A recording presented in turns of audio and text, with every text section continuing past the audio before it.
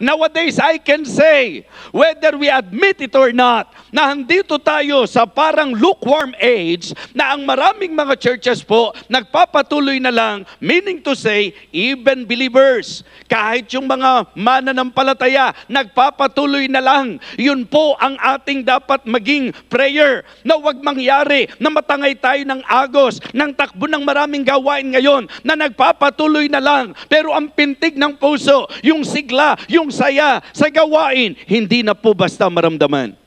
Naalala ko po nung mga bago-bago po mananampalataya, parang ang isa sa issue, kapag ka may mga bisita, eh yung bang, kung babalik ba sila o hindi, eh kung ano yung naramdaman nila doon sa kanilang naging pagdalo. Pag ang naramdaman nila mga members na talagang bakit ang saya-saya nila doon sa church? Di ba? Bakit parang may kakaiba talaga sa church na yon na kapag ka nahalo ka sa mga tao, na kapag ka nakadalo ka doon, parang kakaiba yung mararamdaman mo. Di po ba? Kaysa doon sa, ano ba naman yung nadaluhan ko? Di ba? Parang mga tuod yung mga tao. Alam niyo ba yung mga tuod, mga kapatid? Di ba? Parang napaka-passive naman ng mga tao doon. Para silang mga, para din pala kung yung sarili yung ko, yung nagsisimba lang.